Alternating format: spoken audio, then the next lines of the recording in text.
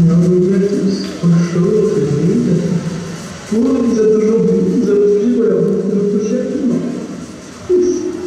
Oh oui, mais n'est-il pas totalement craquant Fritz, que se trouve actuellement au laboratoire de Montréal, il est en direction de ce merveilleux endroit qui m'assied. Oh, au ciel, que dis-je Marcel Mais ne regardez-moi cette misérable petite chose, seule face à cette immense monde et aux épreuves nous nous avons.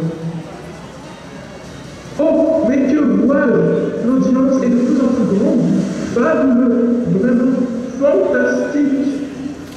C'est désormais